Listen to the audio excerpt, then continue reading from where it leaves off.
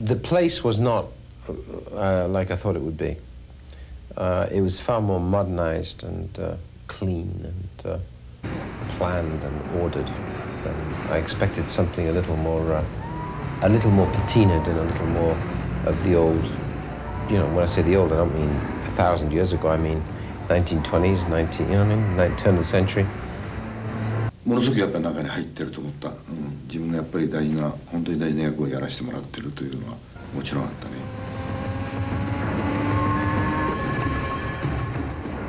やり方の違いをもし聞いてるんだとしたらね、まあ、例えば大阪でもあんなふうに堂々と全部を交通を遮断してねものすごいライティングして撮るっていうことは日本映画の場合はありえない。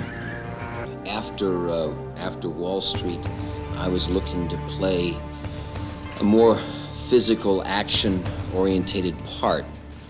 And uh, my agents uh, sent me this script and uh, the character I liked.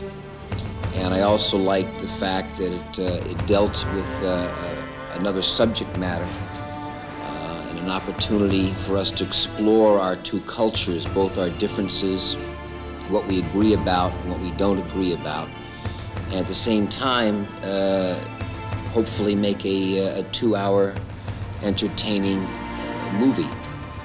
And those were the qualities that uh, attracted me to it um, initially.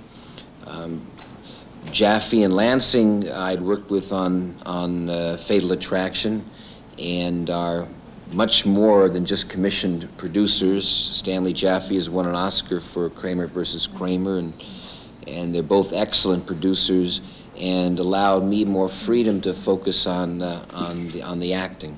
I wanted the Japanese to be not the way we expect them to be. We expect them to be small and, you know, to a degree subservient, right?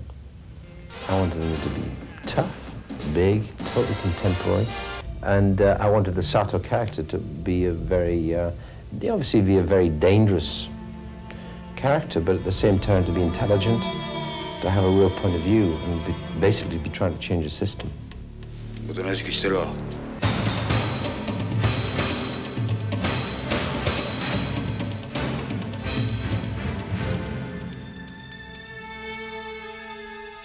It was very obvious that, that this was a, a young leading man who had, who had a certain sexuality and, uh, and a certain um, charisma. I was quite overwhelmed because I felt that he had so much to offer as an artist. He had a tremendous inner inner strength. Um, he had a strong core. He he acted as if he had a secret. Mysterious character. And that was what was wonderful because you couldn't ever tell what he was thinking. You know, he just had a way of being there and, and being inscrutable, as it were. And, uh, and that was very important. Cheers. I am. Yeah. Cherry was a rookie.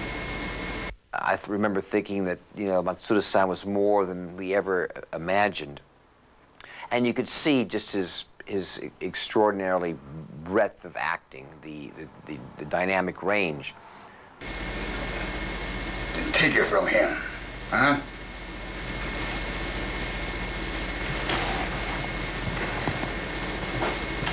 Right. there was that wonderful feeling of being in the presence of an excellent actor.